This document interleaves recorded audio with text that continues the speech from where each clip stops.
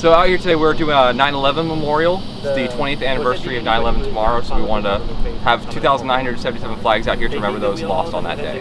It really throws into contrast how long it's been. Many people in our generation, they weren't alive during it or they don't really